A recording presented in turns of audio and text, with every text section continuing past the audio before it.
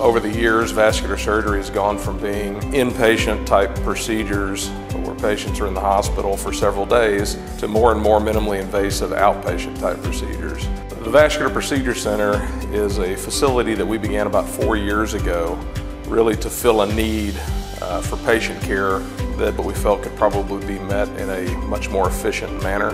We do lower extremity arterial procedures here. This is for limb salvage or for people who have blockages in their arteries and their, in their legs.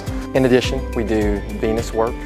That includes highly complex venous reconstructions uh, via balloon catheters and stents. That basically uh, takes care of all of the same patient needs that we took care of in the hospital in a much more convenient, uh, easy uh, outpatient type facility.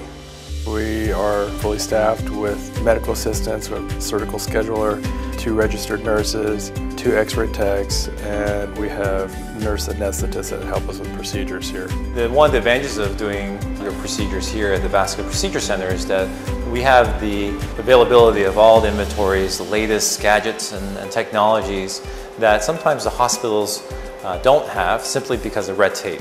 What we see here is our monitoring system, uh, which is relayed from our, that's called an II, and that will give us special imaging in real time to let us know exactly what we're looking at.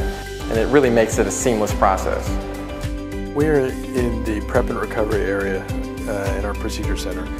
This is really the final stop before we go back into the uh, procedure room to, to do our procedures. So this is where patients come before their procedures, and then this is also where they come afterwards this is a very laid-back, um, easy environment to navigate. I think for the most part, our patients prefer coming here just out of convenience for the most part. They come in and have their procedure done, lay flat for a couple hours, and then go home. It's more like going to the dentist's office and getting a procedure done.